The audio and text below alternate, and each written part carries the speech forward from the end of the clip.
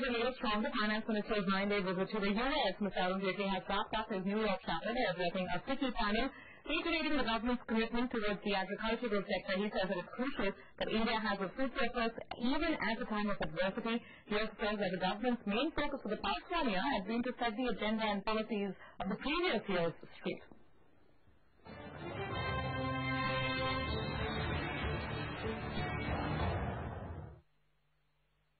I do intend that the government will concentrate on agriculture.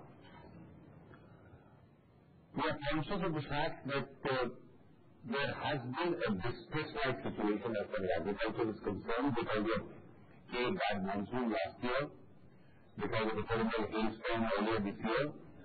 And that's the need for a huge amount of investment as far as agriculture is concerned. And therefore, it's not that we are going to be inadequate as far as grain is concerned. but Despite these two adversities, we are not going to be surplus. But then We need to improve agricultural incomes. The first role of the government has to be in terms of policy, there has clarity. As part of policy, the government doesn't now enter into new businesses. There are sectors where the government has been consciously withdrawing as far as its own business activities are concerned. But the government has been almost in every sector encouraging the private sector. Yes. The uh, finance minister inviting private investment.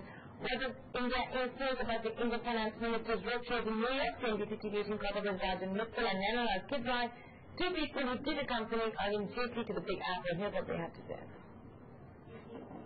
I think so. In the last one year, at least the structural reforms are in place. I think it's up to us now to really see what we can do with the government. Government has already kickstarted their investments. You you heard the finance minister saying that they want to invest in the infrastructure, especially keeping in mind that that would kickstart whole lot of industries around it. It's not only the job of the finance minister to sell in India, also the states, because a whole lot of work actually happens in the states.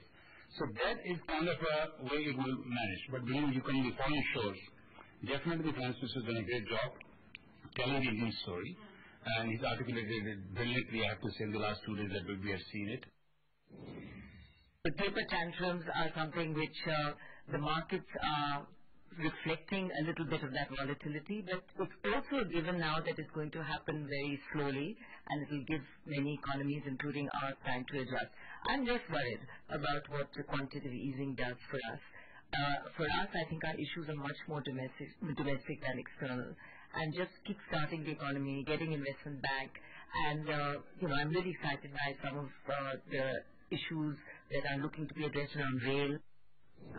All right.